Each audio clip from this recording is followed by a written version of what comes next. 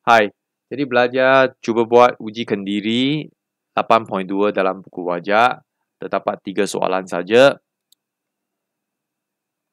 Okay, soalan satu, silika diguna untuk membuat uh, semua jenis kaca. Ini komponen asas dia, silika SiO2. Nyatakan jenis kaca yang dibuat daripada silika saja. Jawapannya, kaca silika terakur. Kaca soda kapur mengandungi ion logam alkali namakan ion tersebut. Jadi kaca soda kapur dicampur dengan soda dengan kapur. Jadi soda adalah natrium carbonate jadi ion natrium. Okey seterusnya ada soalan kiraan sikit. Satu sampel kaca borosilika mempunyai komposisi silika 80%, boroksida 15% dan alumina iaitu aluminium oksida 5%. Hitungkan jisim setiap komponen di dalam sampel kaca borosilika dengan jisim 1 kg. Ini sebenarnya soalan matematik. Okay, ini jawapannya. Okay, tak apa kita cuba buat. Jadi jisim kaca borosilika, jisim dia 1 kg.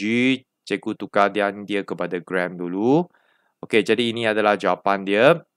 Okay, jadi uh, bagaimana kita dapat jawapan ini? Kita uh, guna, sebenarnya guna peratus. Okey, jadi silika peratus dia 80%, jadi 80%.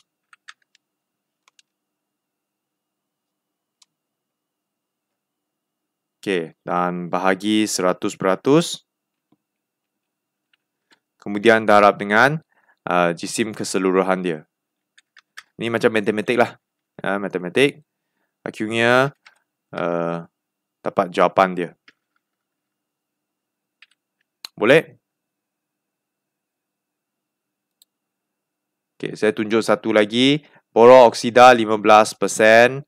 Boroksida. Boroksida 15%. Jadi 15%. Bahagi. Tak berapa pandai ajar Max. Ha? Hmm. Oh. oh, saya pernah ajar kamu Max. Ha? Lupa. Ha. Darab dengan uh, jisim borosilika dia. Jumlah dia seribu. Okey, jadi akhirnya dapat jawapan yang ini. Ha? Okey, jadi yang satu lagi uh, belajar eh, belajar boleh buat sendiri untuk mendapatkan uh, jawapan 50 gram. Okey, jadi jumlah dia mesti 1000 gram ataupun 1 kg. Okey, soal akhirnya soalan 3. Mak, ini Jangan simpan makanan di dalam bekas kaca problem. Wah, ada orang simpan dalam ada cantik ya kaca problem. Okey, ini mengapa tak boleh, mak? Ha, berdasarkan berbualan, jelaskan kelebihan dan kelemahan menggunakan kaca yang dibuat uh, bekas yang dibuat daripada kaca problem. Okey, jadi ini uh, fakta saja, belajar kena baca. Kelebihan dia pertama kaca dia transparent, jadi bolehkan kita tengok uh, makanan di dalam bekas itu uh, dan juga uh, kaca dia mudah dibersih kaca dan tidak meninggalkan kesan.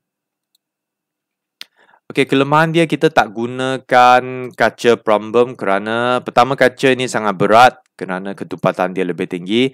Satu lagi uh, takut uh, berisiko keracunan problem uh, takut problem uh, dia akan menyebabkan keracunan makanan kerana risau problem ini dia uh, mungkin akan letak makanan dalam kaca problem bukan? Nanti problem itu meresap ke dalam makanan dan kamu makan akhirnya kamu pun uh, keracunan makanan. Okey jadi tiga soalan saja itu saja. Jadi uh, boleh cuba jawab Google quiz yang cikgu akan sediakan nanti. Sekian kasih